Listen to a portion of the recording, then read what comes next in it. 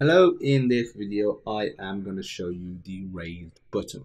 So the raised button is a material design type of button. Instead of it being flat, it has sort of like an elevation. The elevation increases when the button is being pressed. You can add it as a child as you normally would, whether it's within an array of widgets or just a child directly, totally up to you. So to add it's really simple. So you can just do child, and we can raise button. And here, what we can do is there is you know one default parameter that essentially needs, and that is the on press. So it requires the on pressed. Without that, it will not work. So let's add the on pressed right now. So on pressed, on pressed. You can either put null and that means it's not going to have any sort of click functionality. I've already got a method right here. That's a simple button click. So I'm just going to, you know, put that in. So button click. And now, see let's say, but let's see what we get.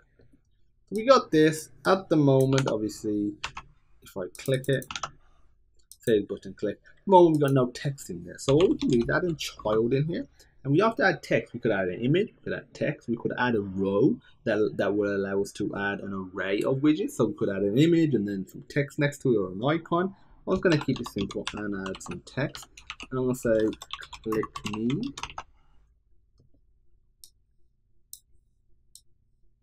There we go. If you want to modify the color, we can do that. So there's a whole heap of properties. So if we control space, you can change the text theme, the text color.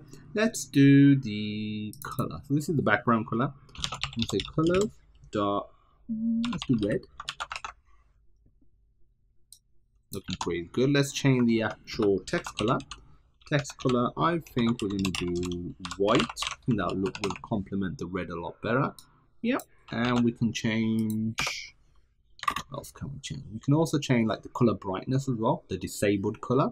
So if the button, you know, essentially gets disabled for some reason, maybe the user does something or they they don't have, let's say, certain permissions or they haven't done something, then we start a login form. You can't click the login button until you filled in both text boxes, for example. And we can say highlight color. Let's put this to black.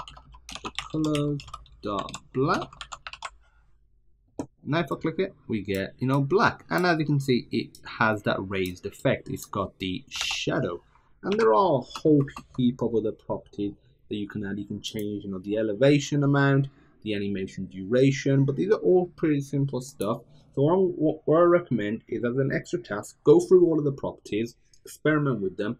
I'll provide an extra link that will take you to the official documentation where you can actually see all of the different properties available and that should you know help. If you need any, if you have any questions, feel free to pop me a message. And as usual, I look forward to seeing you in the next video.